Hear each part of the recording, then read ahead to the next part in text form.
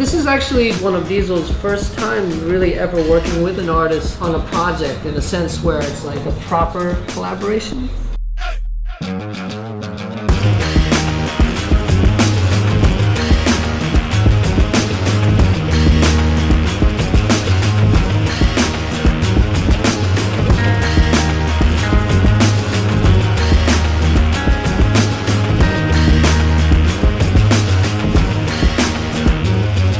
I took the ideas that I had learned from graphic design and the computer and kind of like used them as my tools, you know what I mean, for like making paintings and my own personal stuff, you know.